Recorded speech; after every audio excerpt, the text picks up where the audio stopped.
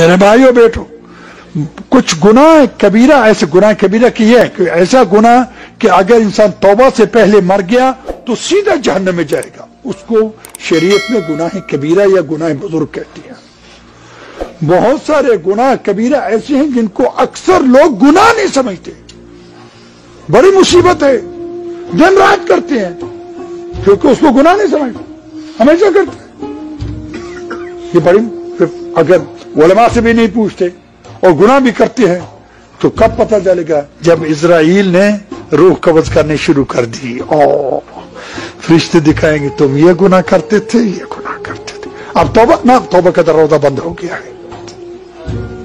جب روح نکلنی شروع ہو جائے، قرآن میں صاف آئے تھے کہ توبہ کا دروازہ بند ہو جاتا ہے۔ اور فرشتے جہنم میں گرم کیے ہوئے کوڑے کھڑے لے کے کھڑے ہوں گے۔ اب آؤ تمہیں بتاتے ہیں۔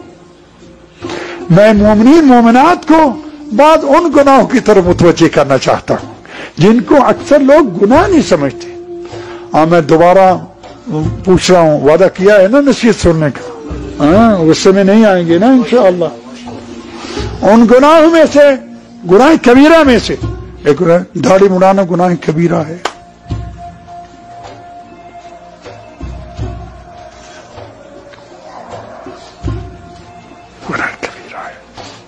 گناہ کبیرہ ہے کبیرہ ہے کبیرہ ہے۔ بات کہتے ہیں میں نے باریک مشین سے، خواہ باریک مشین ہو یا اس طرح ہو، دونوں حرام ہے داڑھی کے اتنے لمبے بال ہونے چاہیے اب ان کو کنگھی کر سکیں۔ اس سے تھوڑی کافی نہیں ہے۔ کوئی اس کو پچاس سال عمر ہے، گناہ کرتے ہوئے یہ کسی کے ساٹھ سال عمر ہے، کسی کا۔ علی کے معنی والے داڑھی مڑاتے ہیں۔ داڑھی مڑا کے آتے ہیں اور زری کو چومتے ہیں اور داڑھی مڑائے ہوئے رخسارے کو زری پہ رکھتے ہیں۔ میں مولا دیکھو داڑھی مڑا کے آیا ہوں۔ نہ تیرا کہنا مانا ہے، نہ تیرے نام رسول کا مانا ہے۔ چیلنج ہے نا مولا۔ بات چھپانے کی کوشش کر رہے ہیں۔ مجھ سے چھپا سکتی ہو، خدا سے نہیں چھپا سکتے۔ مولا سے وعدہ کرو۔ مولا آئندہ داڑھی نہیں بناؤں گا۔ ختم ہو گیا۔ ہاں بشیر نے کہہ دی، بشیر نے اپنی جیب سے نہیں کہا ہے۔ ایک جملہ درمیان میں کہتا جاؤں۔ آپ خیال نہ کریں، دوسرے علماء آپ کو یہ نصیحتیں کیوں نہیں کرتی ہیں؟ وہ اپنی قوموں کو نصیحتیں کر رہے ہیں۔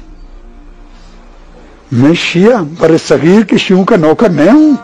میرا فریضہ ہے آپ کو نصیحت کرنا۔ وہ اپنی قوموں کو نصیحت کر رہے ہیں۔ عرض کی ادانی منانا گناہ کبیرہ ہے۔ دوسرا